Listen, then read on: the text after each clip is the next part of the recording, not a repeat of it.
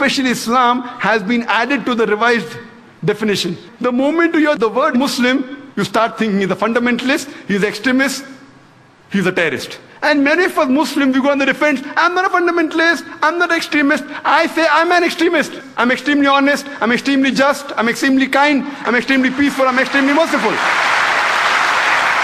I want to know what is wrong in being extremely just, extremely honest, extremely kind, extremely merciful. You can't be partly just when it benefits you and if you are just. When it doesn't benefit you not, you have to be extremely just. That's what the Quran says. Our religious scripture, the word of Almighty God, says you have to be fully just. We can't expect a judge to be partly just when he wants he does justice, otherwise no. So what's wrong? And I want to ask any human being, can he tell me that being extremely honest is wrong? Extremely just is wrong? Extremely peaceful is wrong? We have to be an extremist, but in the right direction. So when someone says I'm extremist, I have to be an extremist Muslim. Only if I'm an extremist Muslim can I be a good Muslim. Otherwise I can't. I know these terminologies have been manipulated. The definitions keep on changing. But we have to turn the tables over. We can't partly follow the Quran. We have to extremely and completely follow the Quran. Allah says in the Quran in Surah Baqarah chapter number 2 verse number 208, Allah says. Enter into Islam wholeheartedly. Today Muslims, they're labeled as terrorists. The basic and simple definition of terrorist is a person who causes terror. For example, if a criminal sees a policeman, he's terrified. So for the criminal, the policeman is a terrorist. In this context, I say that every Muslim should be a terrorist. Whenever any criminal sees a Muslim, he should be terrified. Whenever any rapist sees a Muslim, he should be terrified. Whenever any robber sees a Muslim, he should be terrified. Whenever any anti-social element sees a Muslim, he should be terrified. That's what the Quran says in Surah Anfal, chapter number 8, verse number 60, that cause terror in the hearts of the anti-social elements. Those people who are killing wrong people, who are against humanity, Quran says, cause terror in their hearts. I know that commonly the word terrorist means terrorizing innocent human beings. In this context, no Muslim should ever terrorize any innocent human being. It is prohibited in Islam. We know that many a times two different labels are given for the same person, for the same individual, for the same activity. More than 60 years back. When India was being ruled by the British government, there were many Indians who were fighting for the freedom of the country. These Indians who were fighting for the freedom of the country by the British government, they were called as terrorists. But we common Indians, we call them as freedom fighters, as patriots. Same people, same activity, two different labels. If you agree with the view of the British government that they had a right to rule over India, then you have to call these people as terrorists. But if you agree with the view of the common Indians that the Britishers came to India to do business, they have no right to rule over us, then you have to call them as patriots, as freedom fighters. These same very Britishers, they call Bhagat Singh, Chandrasekhar Azad, Subhash Chandra Bose as terrorists. Do we agree? Not at all. Just because the Britishers say, just because the Americans say, we don't have to believe, we have to fight for justice. They were patriots, they were freedom fighters. Therefore, before you give a label to any individual, you have to try and find out for what reason is he striving. We have several such examples in world history. Time does not permit us to give all the details. I'll just give one more example of the American Revolution, which took place in the 19th century. And we know in 1875, during the American Revolution, there were many Americans who were fighting for the freedom. The British were ruling America. And these people who fought for the freedom by the British government, they were called as terrorists. And number one in the forefront was Benjamin Franklin, George Washington. We know that these people, by the British government, they were called as terrorists number one.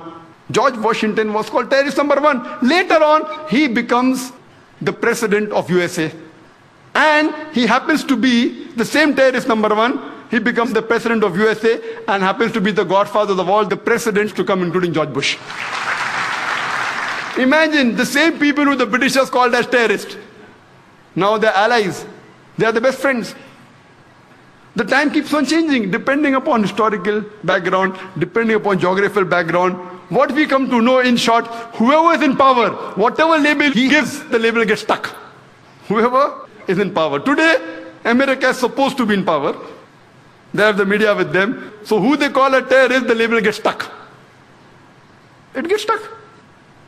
I had gone to Australia in December 2001, just a couple of months after 9 11. And one of my first talks was in the city of Perth. I gave a talk on jihad and terrorism and Islamic perspective. The first question that was asked to me was by the American Consul General of Perth. And the first question he asked me, the Dr. Naik, do you consider Osama bin Laden to be a terrorist? And I told him, as far as Osama bin Laden is concerned, I don't know. I haven't met him. I haven't interrogated him. He is neither my friend, neither is my enemy. I cannot give the answer based on the news reports of BBC and CNN.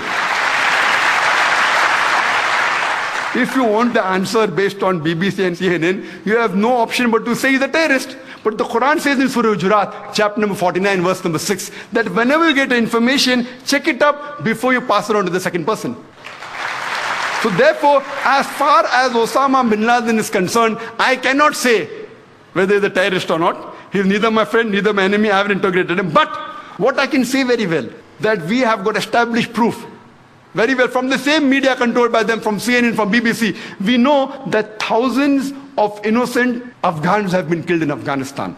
Thousands of Iraqis have been killed in Iraq. Even if we agree, 9 11, they say, was done by Osama bin Laden. No proof. Hypothetical. When the Afghanistan government wants proof, George Bush gives it to Tony Blair. He gives it to Musharraf. and normally, even if we agree, for sake of argument, Osama bin Laden did it for sake of argument. But does it justify in killing thousands of innocent people? Normally, on international level, there's extradition policy that whenever any person who's a culprit in a country goes to another country, you can get him back. For example, India and UK have extradition policy. A few years back, one of the music director, Nadeem, according to Indian government, he was involved in murder. He goes and sits in UK. The Indian government has extradition policy with UK, but when they wanted him back, they said, prove it that he's a culprit. Many people from India went there. Our police force went there. They could not prove. They even had to pay for the lawyer charges of that Nadeem. we know that in the Bhopal gas tragedy, we know that thousands of innocent Indians were killed. The person of Union Carbide goes to America and sits there. Imagine the Indian government attacking America, give the person back. Is it right? Why don't they do it? It is proved. Union Carbide. Thousands of innocent human beings killed, injured, wounded, damaged for life, families ruined, ran away. We have extradition policy, nothing happens. So Afghanistan and USA don't have extradition policy yet. Even if you agree, for sake of argument, Osama bin Laden did it, it does not justify killing of innocent human beings. More than three to 5,000 Afghans were killed. Then, after a couple of years, goes to Iraq, weapons of mass destruction. And they go there, after the attack, they don't find anything. Yet, they're controlling Iraq. What is the cause? What is the reason? And people in Iraq are more troubled. They were troubled with Saddam Hussein. You was not a good Muslim. You was not a practicing Muslim. I'm not in favor of Saddam Hussein. But the trouble they're facing after America has come to Iraq is multiple times more. More people are being robbed. More people are being raped. The main purpose is what? Is oil. It's an open secret.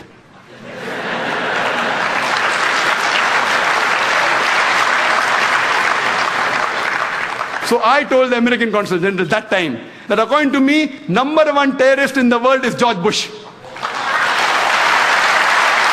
and I'm a person who keep on speaking very often. I had gone to Australia just a couple of months after 9-11. It comes as headlines in the newspaper at that time, December 2001. Dr. Zakir Naik calls himself a fundamentalist and says George Bush is terrorist number one. I did not know of any speaker on a public level, I don't know, maybe,